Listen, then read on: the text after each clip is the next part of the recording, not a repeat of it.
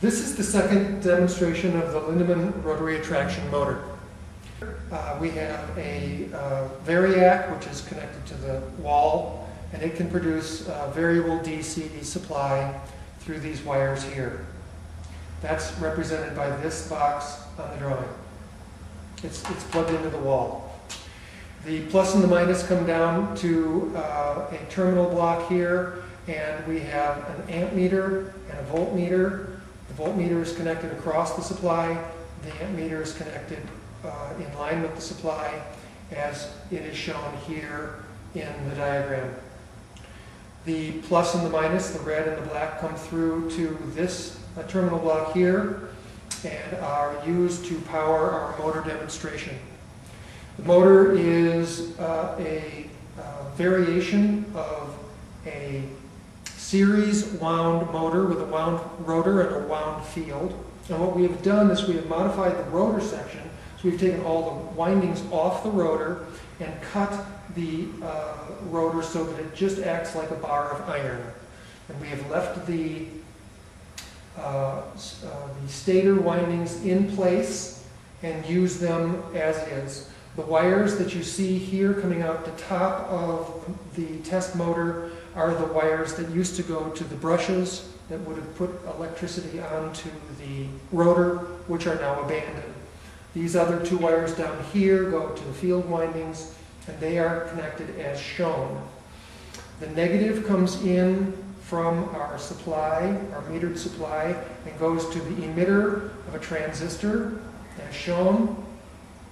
The collector goes to one side of the coil, and the other side of the coil goes directly to our plus supply.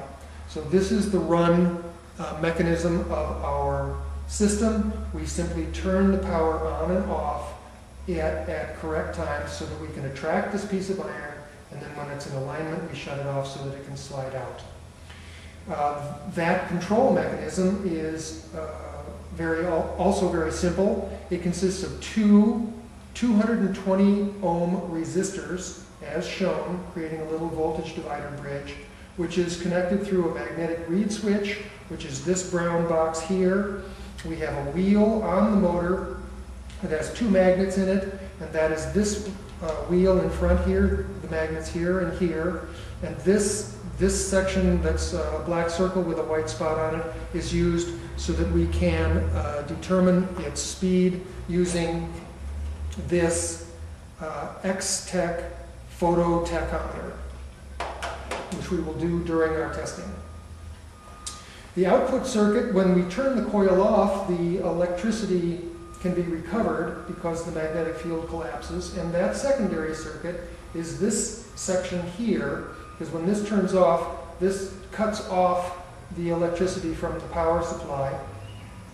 So the um, electricity which comes back out of the machine comes out through this diode. This diode is a PTC 205 uh, from Radio Shack. It's a 1000 volt, two and a half amp diode. And that is this component right here. And then our, um, our various loads, we're going to show three different loads in this demonstration. We're going to show how the motor behaves uh, when this energy is just dropped into a short circuit. We're going to show what happens when it runs a light bulb, and we're going to show what happens when it charges a battery. The one thing that's interesting about this is that this is uh, what is called a no-back EMF motor, which means that when you uh, create a mechanical load on the motor, it doesn't draw more electricity, and we will demonstrate that as well.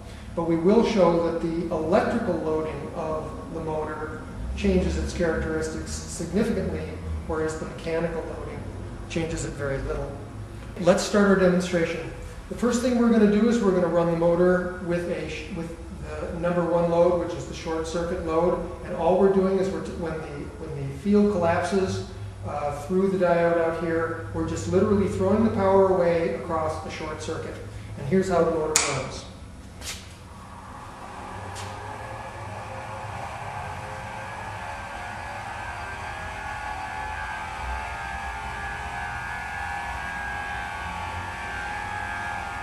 you can see that our voltage is approximately, I'm leaving the power setting on our supply the same so that the voltage will be as identical as possible.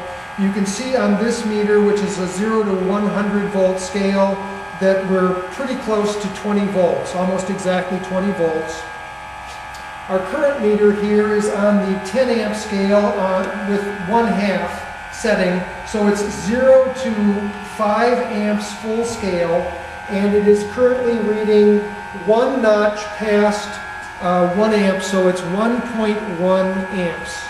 Our motor is turning, speeding up just a little bit, 2960 RPM. So now what I'm going to do is I'm going to physically load the motor down. Most of you know that electric motors are such that when you take mechanical energy out of them, uh, they draw more uh, uh, current. And so uh, let's bring the meter in here again to look at the um, uh, current meter while I physically load the motor.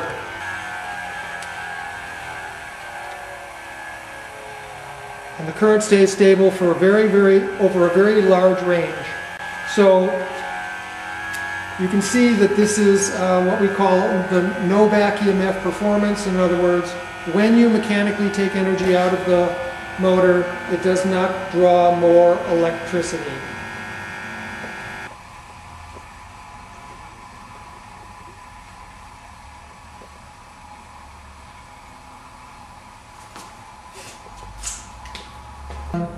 The next thing I'm going to do is I'm going to take the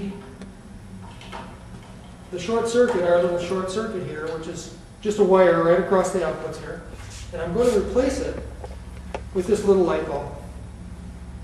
It's a little uh, 12 volt automobile light bulb.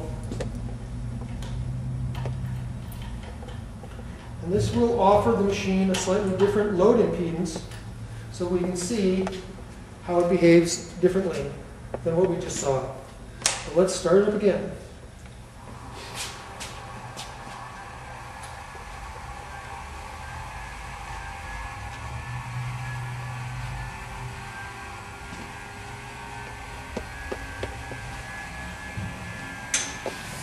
Okay, so now uh, we're running our second load, this load here, the light bulb.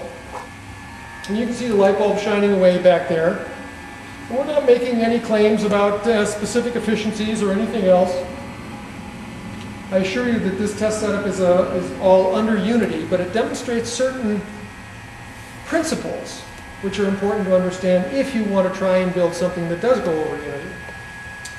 And so what we see here is the, uh, again, uh, the voltage is right around 20 volts, and we haven't touched the supply, so it should be producing approximately the same amount of voltage.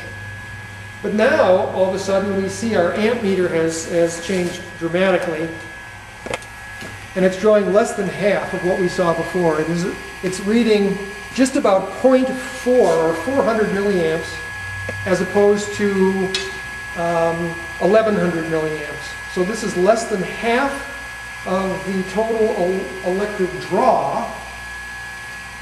You can also see that the motor speed is uh, significantly faster. We're uh, above 3600 RPM, 3619 looks stable, 3624. And we're actually recovering some of the electricity with our light bulb. So what we're seeing is, is that the motor runs faster. You may also be able to tell that the motor runs quieter. It's drawing less than half as much electricity as it did before, running faster, and giving us some of the electricity back shown on the light bulb.